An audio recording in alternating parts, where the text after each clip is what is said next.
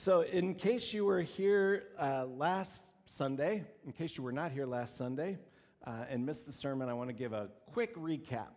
Uh, we have started a series, we're reading through the, the Gospel of Mark. And the heartbeat of this gospel, of Mark's gospel, is a call to action. It's a call to action.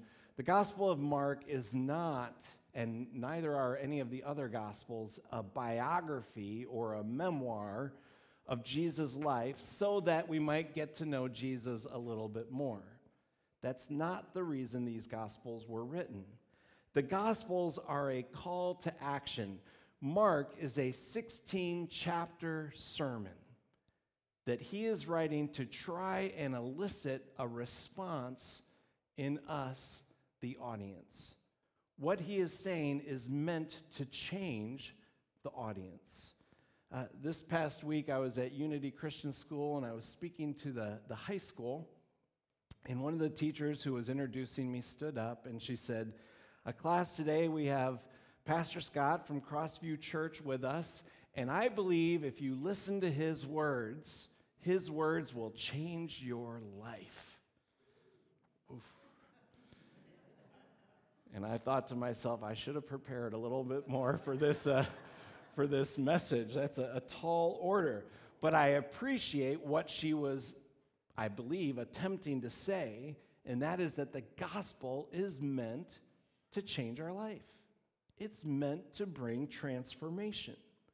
And so we started in Mark chapter 1 last week, and, and uh, we quickly read about Jesus giving four characteristics of a follower. So I just want to go over those really quick with you uh, again. He said, The time has come. These are the first words he speaks in the, the Gospel of Mark. The time has come. The kingdom of God is near. I was thinking about that as we're singing, King of Heaven, come down. This is the King of Heaven coming down. The kingdom of God is near. Repent and believe the good news. And then, just a sentence or two later, he speaks to several people and he says, Come, follow me and I'll make you fishers of men. And in those few sentences, we see these four characteristics of what it means to follow Jesus. These are the things that we're called to do. We're called to repent, to believe, to follow, and to fish. And we do all of things, these things once, and we do them continually. So, repentance, when we turn to Christ for our salvation, that's a, a one time thing. We turn to Him and we're saved from our sins, but it's also a lifestyle. We have to, to cultivate this practice that when we are not in alignment with God, we repent of that. We turn from our sin and we turn back to God because He has authority. We turn back to Him. If we don't do that, what we're going to end up doing is turning away from God and turning more and more and more to our sin. So, to walk with Christ for a lifetime requires the practice of repentance. God is looking for people who will believe. And by the word believe, it does not just mean like a tacit, oh, yes, I believe this to be true. It means I believe it to be true to the extent that I'm going to trust God. I'm going to trust Him with my life. I'm going to put the full weight of my life into His hands because I believe, one, that He has authority, two, that He has my best interest at heart, and He knows more than I do. He sees the big picture, and so I'm going to trust him. I'm going to step out in faith. To walk with Christ means we have to believe. We need to follow. You know what Jesus did not say? He did not come up to Peter and Andrew and James and John in their fishing boats, and he said, didn't say, Come and lead the way. No, he said, Come, follow me. The life of discipleship is a lifelong uh, pursuit of following Christ. And then finally, we're called to fish. Jesus did not live his life wandering aimlessly with no purpose. Everywhere Jesus went, he was on mission. He's looking for one more disciple. He's fishing all the time. So these are things we're called to do repent, believe, follow, fish. That's where we're, going to pick it back up this morning. He's called his four disciples. They have left their boats, they're following him. We're going to pick it up at verse 21, but um, join me as we pray before we, we do that. Uh, Father God, your word has the power to bring transformation.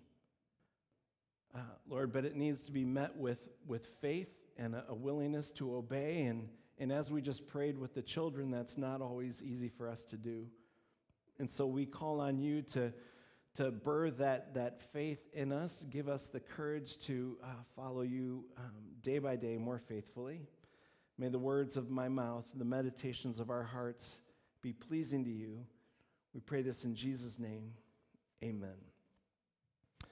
Okay, as we jump into verse 21, keep in mind he has just called these four men to, to follow him.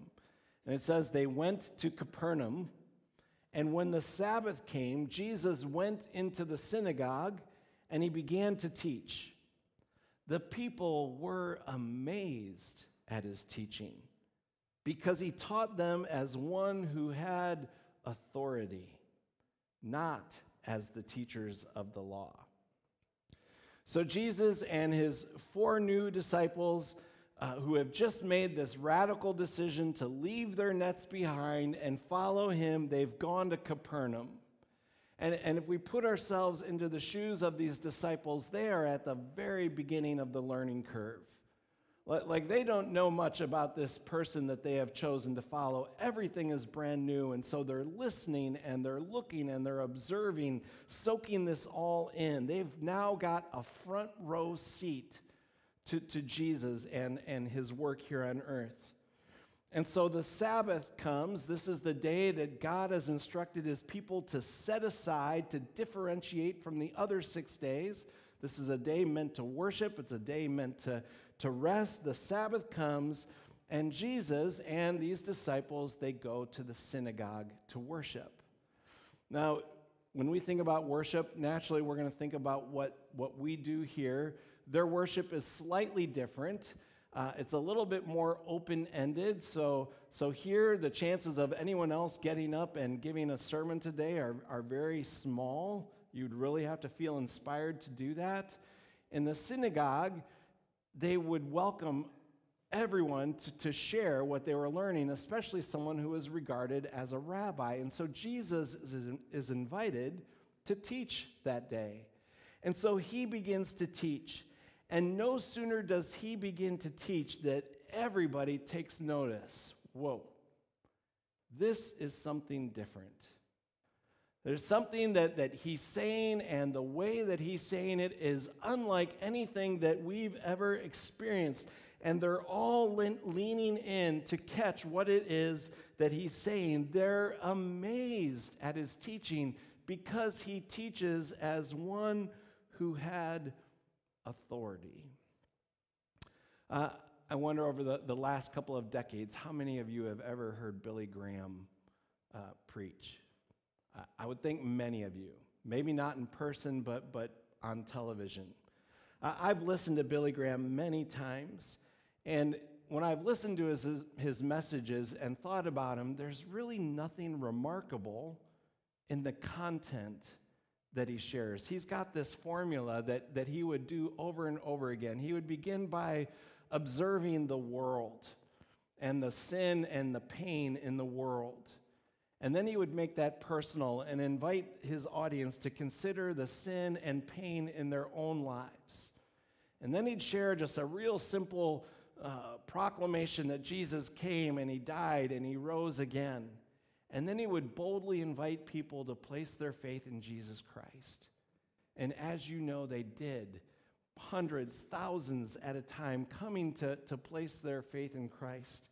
I've often thought about the words that he spoke in the mouth of another preacher. Like if someone else got up and, and shared the exact same words, would they have elicited the same response? Maybe, but maybe not. Because it wasn't just the message that Billy Graham proclaimed, it, he was the message. There was something entirely believable when he got up and delivered the message. The Spirit was, was palpable in him. He taught as one who had authority. Uh, my very first teaching experience was in uh, Northern Virginia. I was in a junior high school, Walt Whitman School. I was teaching drama in a home ec classroom, which, as I think about it now, I was set up for, for failure. I'm teaching drama, which I, I knew next to nothing about, uh, to a bunch of bloodthirsty vipers, seventh grade students, trying to manage a classroom which I knew even less about. The only tool that I had in my arsenal of tools was the tool of yelling. So as the class would get out of control, I would yell. And, the problem with that approach is that the next day you got to yell louder and, and louder. And pretty soon the, the kids just learn to tune you out. So there was this one day, I'm in the home ec classroom, they're out of control, just like every other day, and I'm yelling at them, and they're ignoring me. And the door opens, and in walks the home economic teacher. And she's horrified by what she sees. And she says one word class. Whoosh. I mean, I was so grateful and so amazed and so completely undone.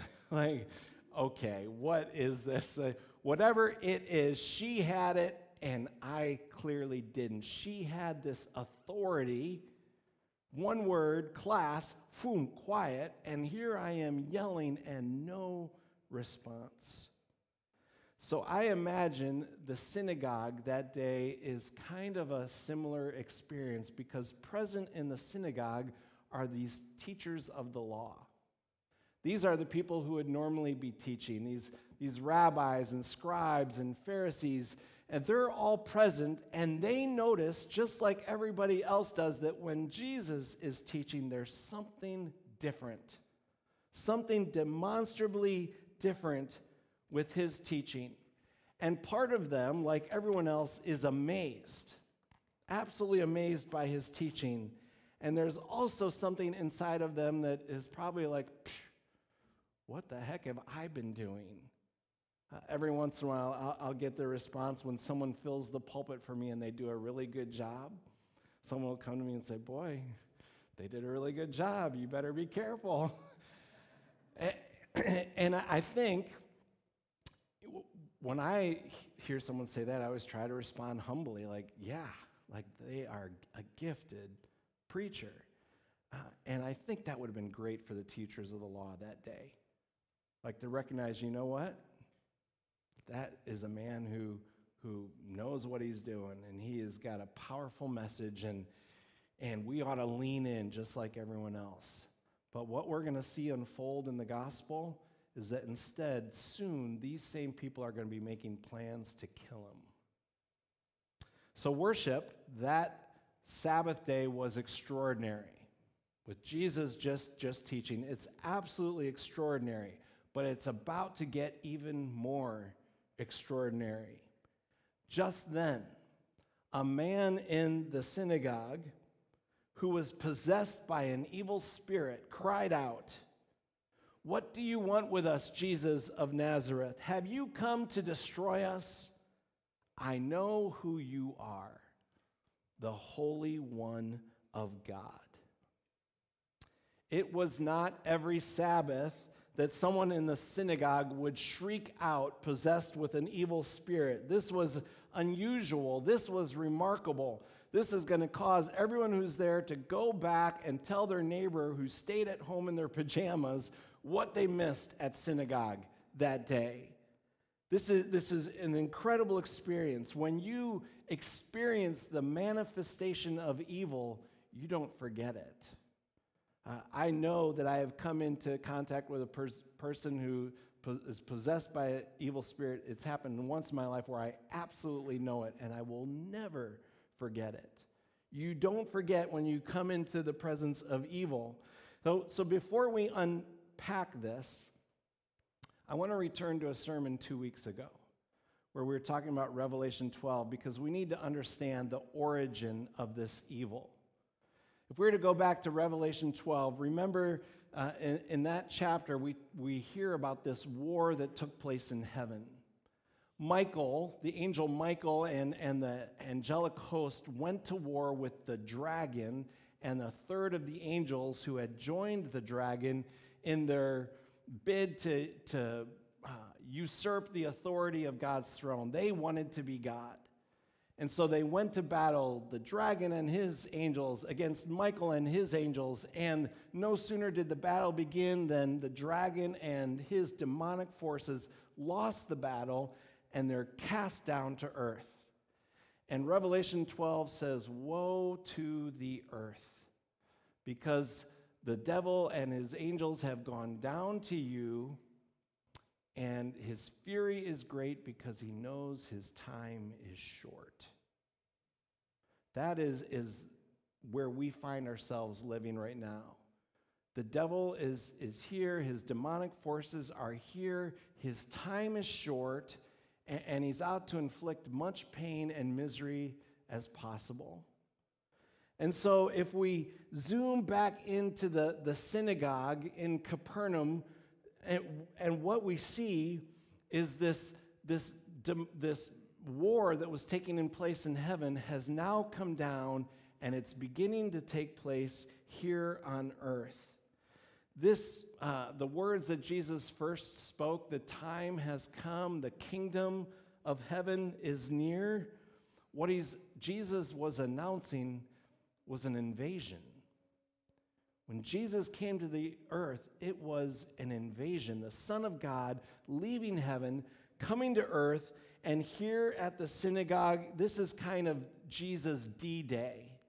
This is his beach landing, and he is out to recapture lost territory. This is the front line of the battle. And one of the things that, uh, that I want to observe with you is that Jesus' battle was not with the man himself. Jesus' battle was with the evil spirit that possessed the man. And the reason that I think that's uh, important is because this is a man who is struggling with an evil spirit and he's at the synagogue. Do you see the tension? Like, there's a reason he's at the synagogue. This is a man who's wanting to, to walk with God, and yet he's got this thing in his life that's, that's just wreaking havoc. And how many of us does that describe? I dare say all of us. There are things in our life that are wreaking havoc in us, and here we are, and we're wanting to, to follow Christ, and we've got this thing in our life that's just absolutely tormenting us. And we just sang about it. Does God have the power to remove that? I mean, the song that we just sang, it was so confident. I know breakthrough is coming. Like, I know that you give me the victory. And, and, we've got this thing that we're wrestling with. And yes, Jesus wants to go to war against it.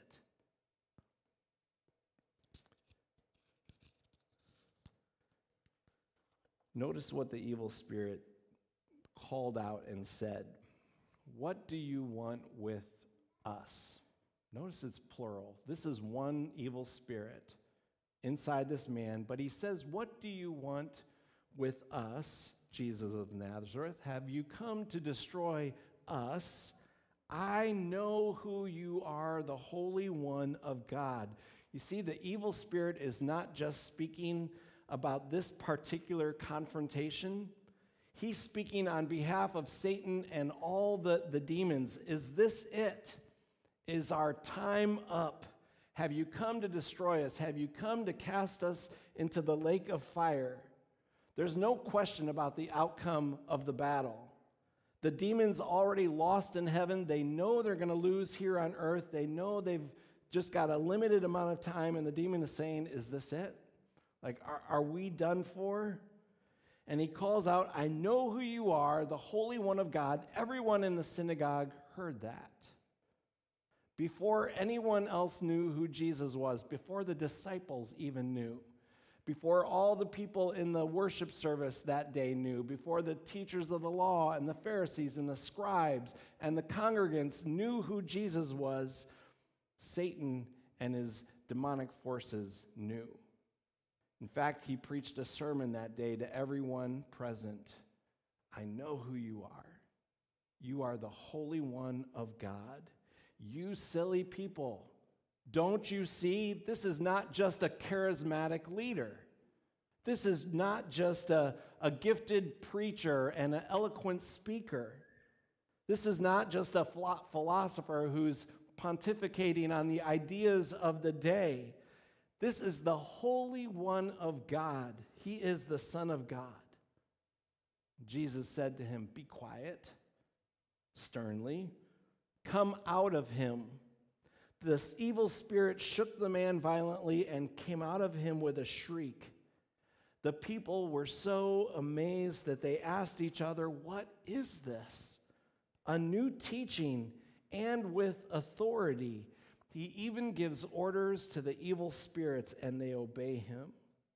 News about him spread quickly over the whole region of Galilee. You can imagine how quickly the news spread as everyone went home and told somebody about what they experienced that day. They're amazed by his teaching, they're amazed by his authority, and now they're amazed by his power. He even gives orders to evil spirits, and they obey him. I know who you are, the Holy One of God. I was thinking about that word holy. Often, when we hear the word holy, we think of it as an adjective. You are the Holy One. It describes who Jesus is. You are 100% righteous. You're not 99 and 44 one hundredths righteous. You are 100% righteous. There is no stain of, of sin in you. You are absolutely holy. And it's right to think of it as, as an adjective, and it's also right to think of the word holy as an agenda. Holiness is God's agenda. Holiness was Jesus' agenda and is Jesus' agenda. Jesus came to this earth to make this earth and to make us holy. Through his blood, we are made 100% righteous that's the amazing thing of the gospel. First Peter says it this way He who knew no sin became sin so that we might become the righteousness of God. You are 100% righteous through Christ. He came to make us holy, and He also is in the process of daily making us holy. This is an interesting thing, this holy. You'll find some scriptures that, that describe us as holy. We are justified. And then you find some scriptures that talk about us being made holy. That's sanctification. That's this daily battle that we're in to, to say no to sin and say yes to Christ. He came to make us holy. And the season that we're in right now is the season where we have the invitation to partner with Him. God says to us, Be holy as I am holy. That's the, the privilege that we have right now of, of saying no to sin and saying yes to Him. So that mission is underway, but it's not completed. We're in this process of sanctification. Uh, did I skip the slide about the two circles? I think we did. I did. Could we go back to that? If we could see this visibly, the, um, the kingdom of heaven coming down to earth we have these two concentric circles, and, and the kingdom of earth right now is being invaded by the kingdom of heaven. And we get to participate in this invasion. And we do it by, by internally following Christ more faithfully, and we do it by being a, um, an agent for, for change in this world, by sharing the power of Christ with our neighbor in this world. Last week, I mentioned a commentary called uh, Jesus Mean and Wild, talking about Mark. And I want to close with something that I, I read uh, from the commentary this week. The author writes this The one who loves us is the Holy One, who wishes to make all unclean things holy. That means the one whom we cannot stay away from is the same one who's out to destroy those very habits and sins and notions and addictions and self justifications that we think we can't live without. And there are times when it feels as if Jesus is out to destroy us. It's a wonderful thing and a fearful thing to fall into the hands of the real Jesus. What he's saying is that, that we make a huge mistake when we soft pedal Jesus. when we turn him into someone who just loves us but has no authority, has no right to say, you know what, this is the way, walk in it. So we are living in that kairos time, that season of time where we get to join what God is doing in this world, in ourselves and in this world. But it's not easy. And so, like we did with the, the kids, let's uh, go to God in prayer. Uh, Father God, we thank you that you are a, a God of love, grace, and mercy. And we thank you that you are a God of authority. Lord, you know what is best for us, and you've communicated clearly your desires for us. And uh, Lord, like the, that person in the synagogue that day, I, I think we all wrestle, and, and, I know I wrestle with things in my life where uh, I'm out of step with you. So, Lord, would you move uh, in our lives? that we would just be a little more determined to, to follow you, resting on your grace, resting on your mercy, but wanting to, to be obedient to, to that which you've communicated. Lord, we thank you that you do not abandon us when we stumble and fall. Uh, we thank you that you are the God of second chances. We pray all of this in Jesus' name. Amen.